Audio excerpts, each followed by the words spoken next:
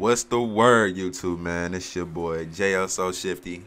Back with another video around almost two weeks ago. I had dropped a video on my Derrick Rose build, which is this right here that you see, the slasher. In the video, I had dropped a little gameplay, little preview on how to uh, build, look, you know, what you could do on the build, all of that. I'm not going to drop any gameplay in this video. I'm just going to show you your badges, the attributes, and exactly how to make this build. Before we get off into that, man, make sure that y'all like this video and subscribe to the channel if you haven't. You can go check out that video if you want to see what it's looking like. But I'm finna just go ahead and show y'all the attributes, what it looked like, so that you can get you a good idea. Now, as you can see, we got 95 driving layup, 86 driving dunk. This is my stats at 99. We got an 81 three pointer. Uh, at first, you know the pass just changed the ball control to where you need 80 to uh, get the new pro dribble moves and all of that. But at first, I had made this base so I could get 86 ball handling and keep it unlocked. So I mean, you could adjust it if you want to. Uh, we got decent defensive stats. You see, my speed is 96, acceleration 96, so he's definitely quick. And remember, this is at 99 overall, so you can expect those stats to be uh, four points lower on every category, but 99 is definitely looking nice. 82 passing accuracy. We got a decent jump shot. Definitely good at slash and 93 close shot. Uh, getting in pockets, 86 steal. Good lateral quickness. Good perimeter defense. You know, we definitely looking decent. Vertical not as high as I would have wanted it to be, but I mean, we needed the speed with this build, especially since we don't have a playmaking and I uh, build it all. As for the uh, badges, we got Hall of Fame finishing badges, 16 of those. 17 shooting badges, all gold badges or silver. You can't get Hall of Fame. 15 playmaking, could get gold only. And we got six defensive badges. Now we finna go ahead and get off into this build.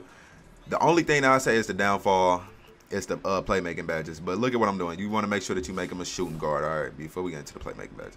Pick the third pie chart, the new one, where it's mainly blue, but it's still green too. Like, you know what I mean? Speed and agility for the physical. Uh, pie chart.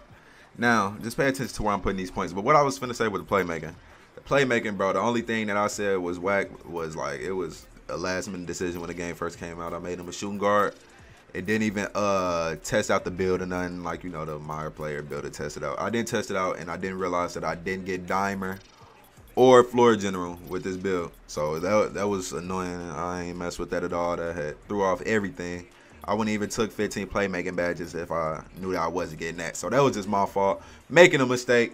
So you could, if you really want those, you'll have to make this build at the point guard. Shooting guard can't get it. I'm pretty sure the point guard can. Haven't looked, but I just stuck with it.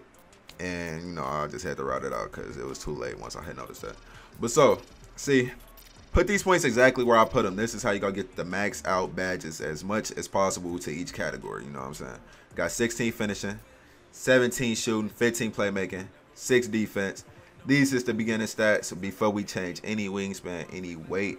It's looking decent so far, but the next parts is what's going to make this build actually good and get you to where you need to be. That's where people mess up. Going with the built body type, instantly drop them down to 6'3". You know, this is a Derrick Rose build. Got to be 6'3". You know what I'm saying? Got to be in that area. Drop the weight all the way down because we want to get as much speed as possible on this build.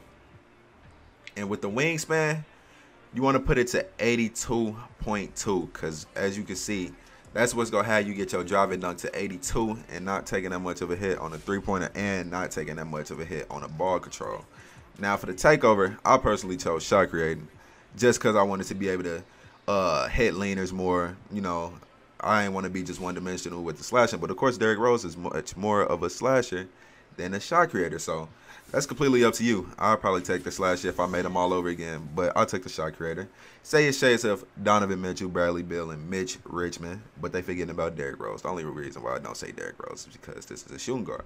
Now, this is exactly how you make the build.